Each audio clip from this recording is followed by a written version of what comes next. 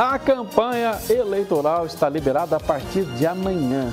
Valem todas as táticas possíveis para o candidato ali tentar conquistar o voto do eleitor. Esse é o assunto para Rose Guglielminetti, que vem chegando aqui.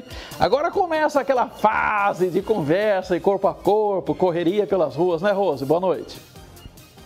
Boa noite, Sena. Boa noite a todos. Sim, Sena. Agora, oficialmente, o candidato poderá pedir votos né, de forma explícita, porque até então a gente via comícios dos candidatos é, reuniões, mas eles não pediam votos, né? Porque eles eram pré-candidatos. Mas agora, finalmente, eles vão pedir: vote em mim, pode votar em mim.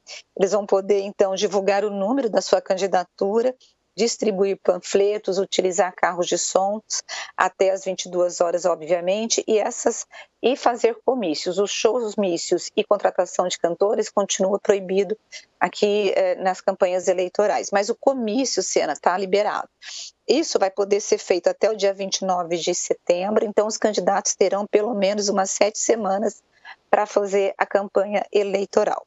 Além disso, eles vão ter é, a possibilidade, cena na internet, de impulsionar o conteúdo e ter blogs e sites, mas eles não vão poder pagar é, dentro das redes sociais para poder ter propaganda eleitoral. Não sei se você consegue entender. Pode impulsionar o conteúdo pela primeira vez, mas a, a, o uso de redes sociais está proibido.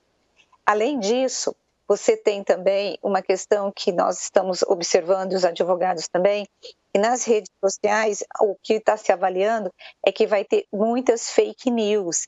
E aí a justiça eleitoral ela é bem morosa para poder conseguir fazer, é, dar mão, né, ou resolver esse problema para os candidatos. Mas todo mundo vai contratar os seus próprios hackers, vamos assim dizer, para poder observar se o adversário está ou não utilizando notícias falsas para poder entrar na justiça eleitoral. Sena, e o programa eleitoral, que é aquele programa gratuito né, na televisão, está marcado para o dia 26 de agosto. Agora é esperar se o eleitor está afim ou não, né, Sena, de sentar na, na frente da televisão e assistir às promessas dos candidatos. Pois é, é, é a ferramenta que eles dispõem. Agora, essa questão da fake news é que preocupa, né? Por exemplo, no plano nacional, um chamou o outro de genocida e o outro chamou de ladrão. Aí, quem que vai determinar se é fake news ou não? Pois é, vai ter que ser a justiça eleitoral, né, Sena, que vai determinar. Aí eu acho que não vai ser nem fake news, eu acho que vai mais para injúria e difamação. Por exemplo, uma fake news que está rolando agora, recentemente, dizendo que se o Lula ganhar, as igrejas evangélicas serão fechadas, né? Não há essa, essa decisão por parte do governo do PT. E já foi definido que é uma fake news, que o próprio deputado Feliciano disse que é ele quem está falando isso nas igrejas. Só que até agora, assim, na própria Justiça Eleitoral ainda não se manifestou, mas está dando um quiprocó nas redes sociais, viu, Sena?